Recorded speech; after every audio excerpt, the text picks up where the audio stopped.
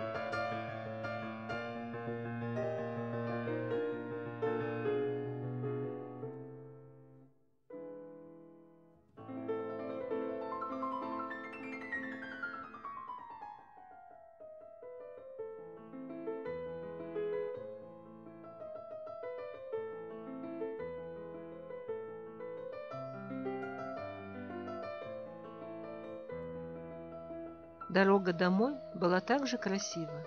Как же я люблю золотую осень! Золотая пора, бабье лето, Сколько песен тебе пропето, Сколько красок художник истратил И волшебницу осень украсил. По лесам и полям ты гуляешь, Ветерком тихим всех обвиваешь, В ярко-желтом, багряном наряде Теплым светом сквозит в твоем взгляде. Спасибо всем, кто смотрел это видео. Я надеюсь, доставила вам несколько приятных минут. Пока!